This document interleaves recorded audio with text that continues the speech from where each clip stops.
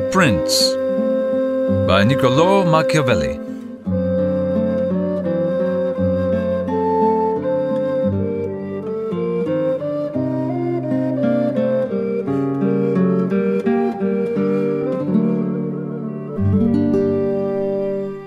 Niccolò Machiavelli to the magnificent Lorenzo de' Medici.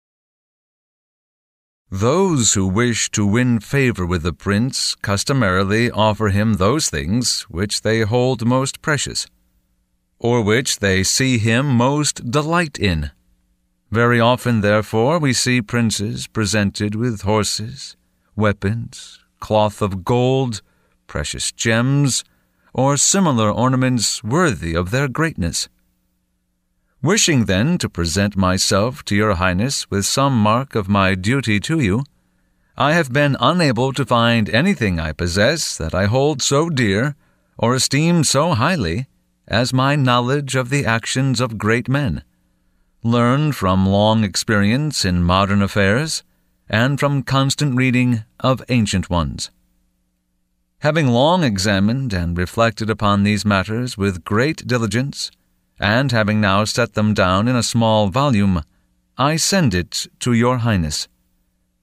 Though I judge this work unworthy to be presented to you, nevertheless I am very confident that, because of your benevolence, you will accept it, considering that there can come no greater gift from me than the means to understand in a very short time all that which I, after many years, through many labors and dangers, have come to know and understand.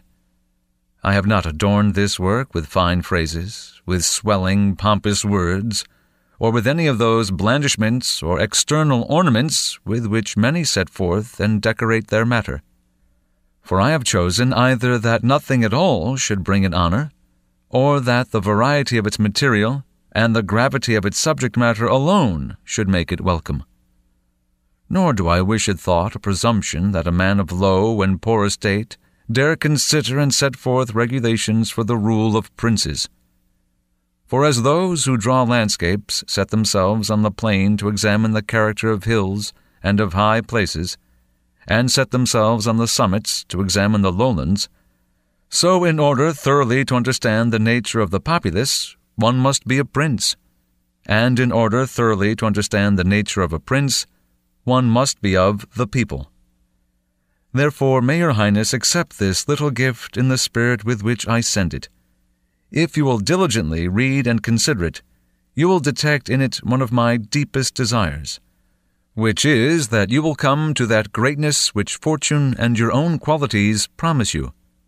And if from your great height your Highness will sometimes cast a glance below to these lowly places, you will see how undeservedly I endure the heavy and relentless malice of fortune.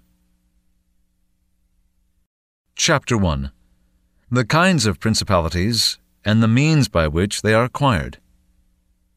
All states and all dominions that hold and have held power over men have been and are either republics or principalities. Principalities are either hereditary in which case the family of the ruler has long been in power, or they are new. The new ones are either entirely new, as Milan was to Francesco Sforza, or they are, so to speak, members added to the hereditary possession of the prince who acquires them, as the kingdom of Naples is to the king of Spain. The dominions thus acquired have been accustomed either to live under a prince or to be free and they are acquired either by fortune or by ability. Chapter 2 Hereditary Principalities I shall exclude any discussion of republics, having discussed them at length elsewhere. I shall consider principalities alone, and, following the indicated plan, shall discuss how they may be governed and preserved. I say then that hereditary states accustomed to the family of their ruler are more easily kept than new ones, because it is sufficient if the prince does not abandon the methods of his ancestors and proves adaptable when unforeseen events occur.